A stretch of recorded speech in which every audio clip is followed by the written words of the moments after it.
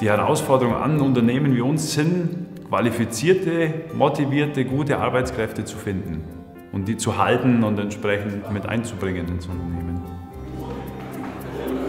Wir wissen, dass die Projekte in den seltensten Fällen an der Technik oder am Budget äh, eskalieren oder kaputt gehen, sondern weil Menschen nicht miteinander reden.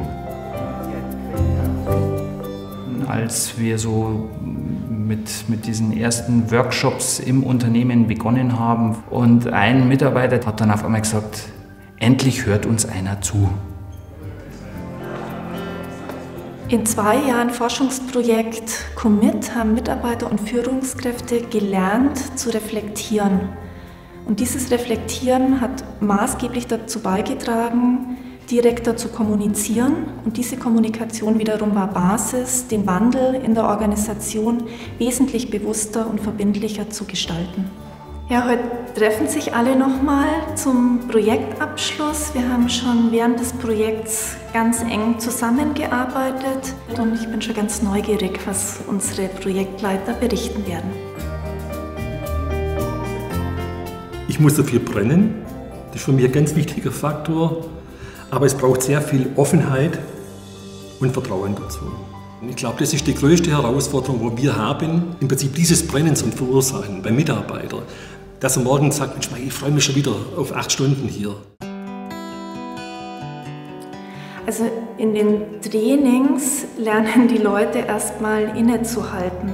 Man könnte meinen, das ist ganz einfach, aber da geht es wirklich um innere Präsenz, zweite Teil ist Anwendung an konkreten Herausforderungen vom Unternehmen. Und der dritte Teil ist die Reflexionssoftware, die im Arbeitsalltag unterstützt, diese Themen präsent zu halten. Und jetzt ist es so, dass die Unternehmen je nach Bedarf den Umfang der Fragen oder die Art der Fragestellung anpassen können bei den Mitarbeitern erscheinen dann die entsprechenden Fragen. Wir haben da auch noch einen Prozess dahinter. Sind die Fragen auch wirklich verständlich, dass wir uns da auch immer eine Rückmeldung holen? Und so kann dann eben bedarfsgerecht reflektiert werden. Da gab es ein Gespräch, wo dann einfach äh, durch, dieses, durch die Software ganz klar war, dass jetzt ich an mir mal arbeiten muss. Und äh, ich muss aus dieser Komfortzone raus. Das heißt, das muss ich aushalten, diese Kritik. Und auf der anderen Seite, wenn ich dann sehe, wie ich, es auflösen kann, habe ich natürlich auch ein Erfolgserlebnis. Also zu sehen, wie die Energie frei wird beim Mitarbeiter, hat aber bei mir für die nötigen äh, ja, Begeisterung und äh, Freude vor allem geführt, zu sagen, okay, es funktioniert.